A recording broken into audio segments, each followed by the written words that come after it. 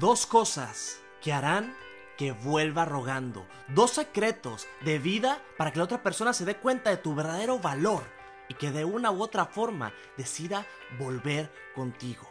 Ojo, te quiero dar una advertencia, porque estos dos secretos no solamente vienen desde mi experiencia, sino desde todo lo que he leído con ustedes y de lo que me he dado cuenta que funciona para hacer que alguien regrese, para hacer que alguien se dé cuenta de ti, de lo que tienes, de lo que vales y para que de una u otra forma terminen volviendo, rogando o, mejor aún, se den cuenta de lo que tienen o de lo que tenían.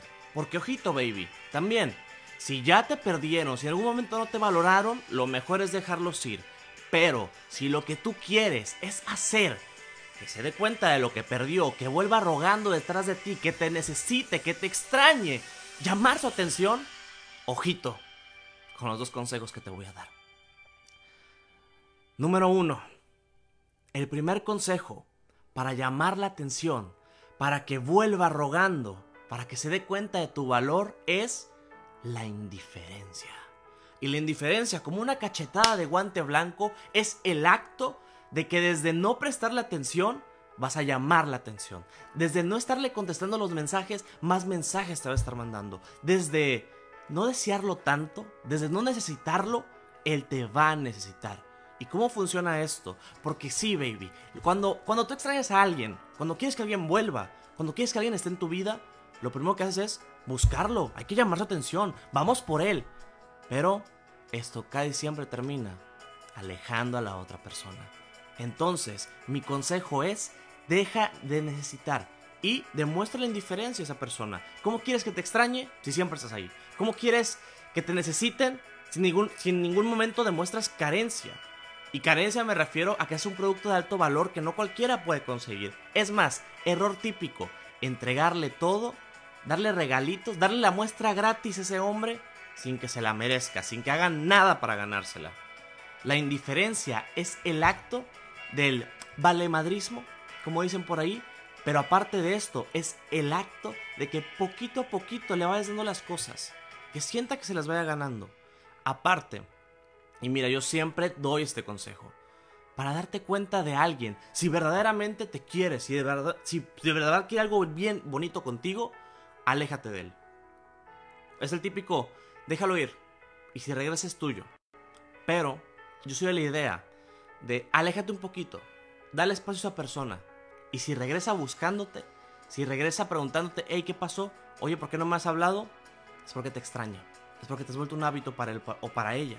Pero si dejas ir a esa persona, si demuestras indiferencia con ese hombre o con esa muchacha y simplemente no regresa contigo, no te pregunta qué pasó, no te vuelve a buscar, no hay un intento de su parte, muy probablemente ahí no es el lugar. Y mira qué chingón, porque nos estamos dando cuenta de alguien que verdaderamente no estaba aportando nada a nuestra vida, o no iba a aportar nada, o no tenía ninguna misión con nosotros. Y esto, más que mejor, es el filtro para descartar a quien se tiene que ir de nuestra vida. Por eso, la primera cosa que tienes que hacer para que, hacer, para que vuelva, para que se dé cuenta de lo que tenía, es la indiferencia. Y esto como filtro de que mandar al carajo a quien no se quiere quedar y darse cuenta de quien de verdad te quiere y de verdad te extraña. Porque sí, una de las señales más claras de cuando alguien está enamorado, de cuando alguien quiere de verdad algo bien y bonito contigo, es que te busca, que te piensa. Cuando hay un problema, trata de resolverlo. Que cuando le das indiferencia, trata de buscarte de nuevo. Cuando te alejas, te busca y dice, hey, ¿dónde has estado? Hey, ¿qué pasó? Oye, estás enojada. Es más, el, el ejemplo clásico que siempre les doy es el contacto cero. Hablar durante un mes entero con alguien, tres semanas, 21 días, no sé la cantidad, una cantidad amplia de tiempo, hablar mucho, te desapareces. Y si esa persona no te busca, es porque le valiste madre y no generaste un hábito y no te extraña. Y perdóname, pero es la realidad. Pero, si después de hablar tres semanitas, un mes completo con alguien, y de la nada, un día le dejas de hablar, después de haberte hablado todos los días, se va a sacar de onda, va a decir, oye, ¿qué pasó? Oye, ¿y mi buenos días? Oye, ¿mi cómo estás? Es más, te va a empezar a buscar. ¿Qué onda? Oye, ¿qué tienes? Te noto rara. ¿Estás enojada? ¿Qué hice? ¿No estás enojada? Ah, pues hay que salir. Extraño, quiero verte. es el efecto de que se lo quitas y se da cuenta de lo que lo tenía, de lo que amaba de verdad. Y no valoraba chance porque siempre se lo regalabas. El segundo consejo que te quiero dar para hacer que alguien vuelva, y esto más desde el ámbito de que, puede ser desde un exnovio, desde un amor que te pagó mal y se fue, o simplemente alguien que eh, llegó a formar algo en tu vida y se fue. Ya sea porque fue tóxico, ya sea porque se pelearon, algo. Pero tú lo que le quieres mandar es un mensaje de que, hey, mira lo que te perdiste. Hey, mira lo que tienes aquí. Oye, hay que platicar de nuevo. Es el hecho y el acto, y esto lo veo mucho cuando me hablan de sus exnovios o de sus exparejas, es que te vea feliz. El segundo consejo es que la otra persona vea tu felicidad, que, es, que denotes que simplemente tu vida va perfecta, que no te hace falta nada, aunque en la noche lloremos y lo extrañemos. Pero a lo que me refiero con esto es demuestra valor, demuestra estabilidad. No estés mandando indirectos en redes sociales, no estés buscándolo, necesitándolo, porque le hace llenar el ego. Es más, casi siempre, y no me dejarán mentir, cuando terminas con un exnovio, cuando terminas con un examor, cuando simplemente la relación se, se apagó, lo primero que miras es, ahora con quién está saliendo, qué está haciendo. Uy, anda bien feliz. Ah, ya se anda yendo de fiesta, de seguro nada más para desquitarse. No, subió a su madre para mandarme una indirecta el hecho de que demuestres indiferencia, de que ni lo peles, le va a calar más. El hecho de que te veas feliz en redes sociales, demostrando que probablemente es más, le hizo un bien a tu vida el hecho de que se fuera, le va a calar y te va a volver a buscar y va a ir detrás de ti. Porque esto, aparte de ser un efecto psicológico en el ser humano, es darle en el ego. Es golpearle al narcisista, a su corazoncito. Porque todos tenemos un poquito de narcisismos, quieras o no, somos humanos. Y eso lo que nos duele es de que, oye, ¿por qué está tan feliz? ¿No era feliz conmigo? ¿Qué pasó? Oye, el hecho de que yo me fuera de su vida le hizo bien.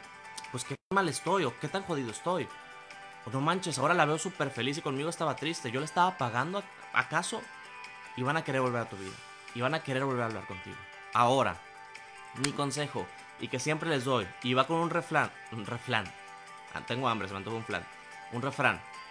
Dicen que estés en un bosque, caminando, y te topas dos veces con el mismo árbol, es porque estás perdido. O te tropiezas dos veces con la misma piedra, es porque andamos perdiditos. Y esto tiene sentido. Yo soy de la idea de que a veces, si ya cortaste un ciclo, pues ¿para qué volver con el ciclo? Si ya terminaste una relación, pues ¿para qué? Mejor conoce otra persona. Pero ojo, esos consejos son si tú en dado caso quieres recuperar a alguien, si sientes que faltó algo, sientes que es el amor de tu vida, que cortaron por alguna tontería, no sé, tú tienes ganas de volver. No te voy a juzgar. Es más, te apoyo y te doy estos consejos. Pero también te quiero decir que a veces es mejor soltar, dejar ir, seguir adelante y de una u otra manera encontrar el amor en otra persona.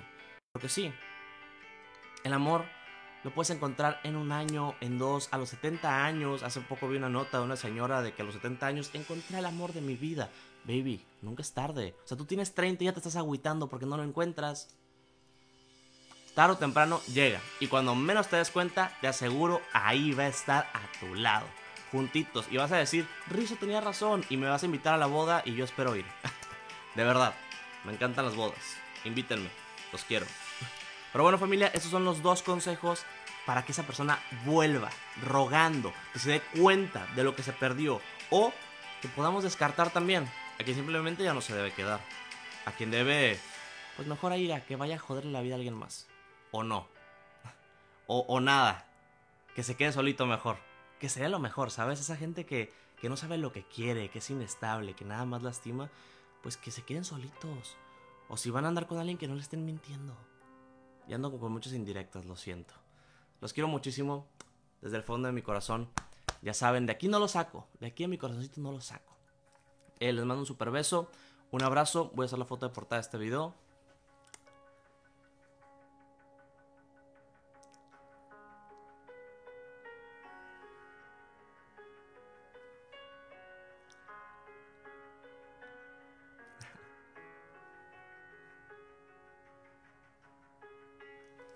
Ahí vamos a colocar al final. Los quiero mucho, familia. Nos vemos. O síganme en Instagram. Si en algún momento necesitas un consejo o simplemente desahogarte o platicar de cualquier cosa, sígueme en Instagram, de verdad.